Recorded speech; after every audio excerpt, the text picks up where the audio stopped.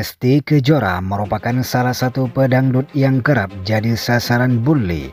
Bahkan belakangan buah hati Lesti, Muhammad Leslar Al-Fatih Bilar ikut jadi korban komentar pedas para netizen.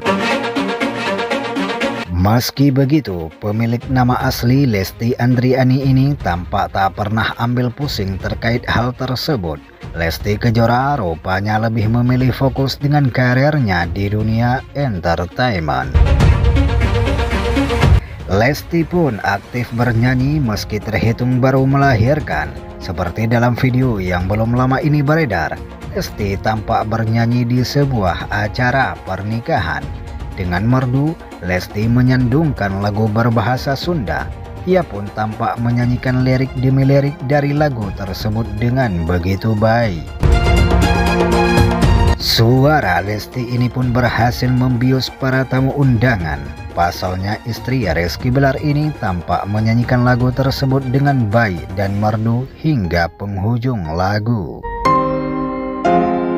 Aksi bernyanyi Lesti Kejora tersebut rupanya banjir pujian. Banyak netar mengaku takjub dengan suara Lesti saat bernyanyi Sunda. Tak sedikit pula netizen yang mengaku merinding dengan suara Lesti. Suara merdu Lesti itu pun seolah membungkam haters yang selama ini menghinanya. Masya Allah merinding dengar suaranya, tulis Agun. Masya Allah, suara Lesti emang gak diragukan lagi, best pokoknya.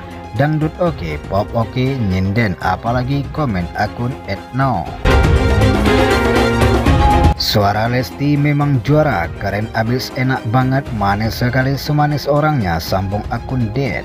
Terlepas dari komentar-komentar negatif para neti, suaranya Lesti memang sudah tidak bisa diragukan lagi. Karena itu benar-benar prestasi yang membanggakan timbal akun Salsa.